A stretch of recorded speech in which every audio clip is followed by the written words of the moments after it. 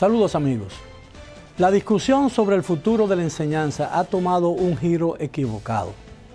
Intelectuales, periodistas y maestros parecen más enfocados en el tema de la educación sexual que en mejorar la capacidad del niño para expresarse bien en su propio idioma, mejorar su capacidad de comprensión e intensificar el estudio de las ciencias y las matemáticas.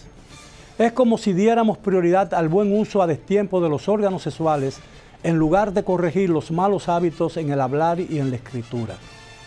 Parecemos más interesados en adiestrar a los niños en los secretos de la sexualidad y el uso de preservativos que enseñarles a hablar con propiedad e interesarse en el estudio de las disciplinas que podrían hacer de ellos mejores ciudadanos, que es el único camino posible y seguro para encarar el futuro y alcanzar nuestro enorme potencial y riqueza.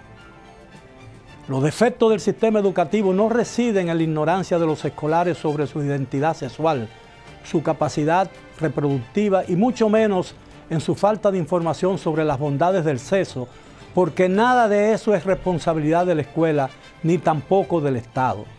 Para eso están los padres. La prioridad del sistema de enseñanza tiene necesariamente que estar asociado a la obligación de mejorar la capacidad de discernimiento de los escolares, ampliar su capacidad de concentración y prepararlos para competir como profesionales en un mundo global que cada día se hace más exigente y reclama más competencia profesional.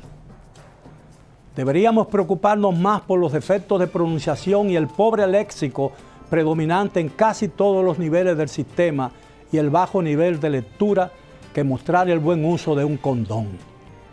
Infundirles a los niños un concepto antinatural de su propio cuerpo me parece irresponsable porque a despecho de lo que se pretende, el varón nace con pene y la hembra con vagina. Y así será para siempre. Ha sido todo por hoy. Gracias por su atención. Soy Miguel Guerrero.